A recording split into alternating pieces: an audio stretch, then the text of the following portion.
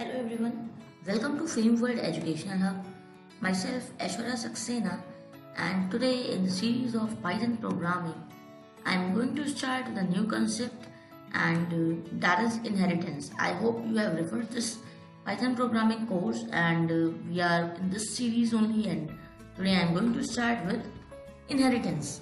So in the previous video we have seen the different types of methods and the types of variables and uh, today we'll start with inheritance. So I'm just creating a file here and uh,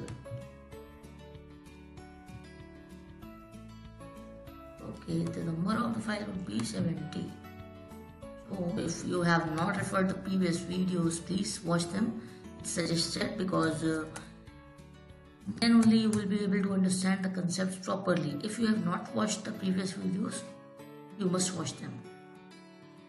So today we are going to start with inheritance and it's really simple to implement inheritance in Python.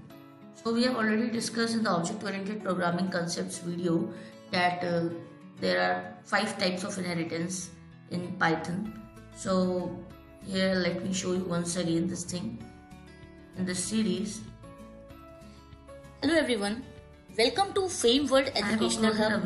Myself, Aishwarya Saxena, and today I am going to start a new series. So in this video 55, if you have not watched it, so it was containing all about the object-oriented programming concepts, and uh, it is uh, having the concepts of this inheritance and all. Like you will be able to understand that uh, how different types of inheritance work in Python so you must watch this video if you have not watched it. So here you can see we have discussed this thing. Now i am going to tell the program related to the inheritance. So first of all uh, we will be going for single inheritance.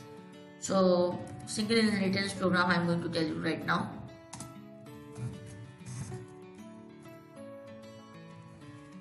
So here i am with a class a. So when we are talking about single inheritance, that means we will be having a single class which is giving its property to another single class. So that's the point uh, in the case of single inheritance. So I'm just taking a normal method feature. So this a method I have taken and let's print something here. Okay, let's make it feature one for now. And here I'm just printing feature one. Okay now I'm just going to create uh, let's take one more method for instance for more method I have taken. Okay and let's name it feature 2 and I'm printing feature 2 so it will be easier to understand that it is another method. And then I am creating one more class here. And this will be class B.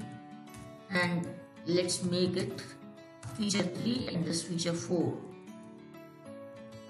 so it's a it is feature 3 it is feature 4 okay now because we have to inherit the properties like we want to make inheritance of this class a in this class b so this class a that is the superclass we want to inherit in class b that is the subclass so here it's so simple you can see we just have to mention this a inside the parenthesis with this b so it will be it will be inheriting the properties of class A in the class B. Here you can notice this mark also. This is showing that the inheritance is going on.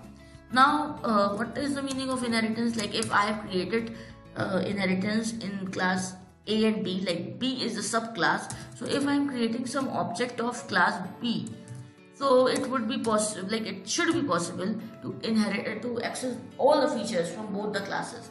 So here you can see we are able to access feature 1, 2, 3, 4 all and is denoting that feature 1 and 2 are from the class A and feature 3 and 4 are for the class B.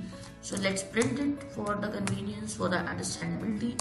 So here I am printing feature 1 that is in the class A and I am printing feature 3 that is in the class B.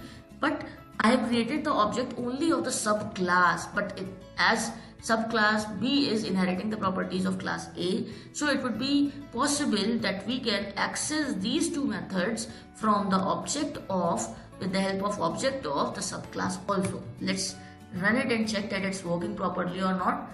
yes it's working very properly and we can see that uh, we have got the feature 1 and feature 3 so feature 1 was in class a feature 3 was in class b but yes we have inherited uh, class a in b so it's possible to access them with the help of the object of the subclass.